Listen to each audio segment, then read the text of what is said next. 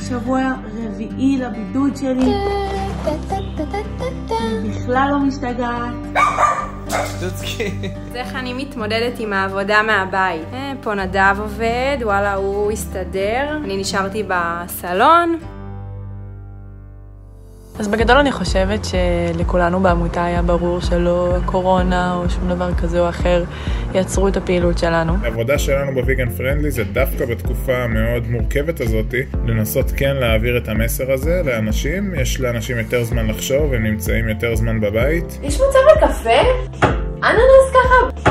עציץ? עציץ. הרגשתי פרודוקטיבית. יש לנו אפשרות מדהימה להעביר את התכנים שלנו דרך המדיות החברתיות שפשוט מתפוצצות עכשיו. הכמויות אה, הודעות והפניות שאנחנו מקבלים בחודש האחרון הן משהו שלא היה לפני. ביפר הדבר הכי מגניב נשמע ככה. אתם מאזינים לפודקאסט של ויגן פרנדלי. אז אנחנו עושים לכם ערוץ פודקאסט חדש, אני לא רוצה לעשות ספוילרים, כי בקרוב זה אצלכם.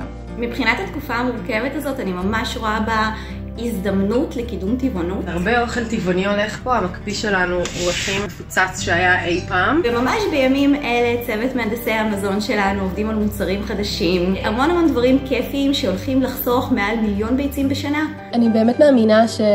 עכשיו זה הזמן. זה הזמן שלנו. המאבק למען בעלי חיים עוד לא נגמר. הרי זאת לא מגפה ראשונה שאנחנו יודעים שהגיעה מהמשקים החיים. השנה הזו הולכת להיות שנה בלתי נשכחת עבור בעלי החיים. אנחנו עובדים הכי קשה שאנחנו יכולים לעשות את הפרויקטים הכי מטורפים.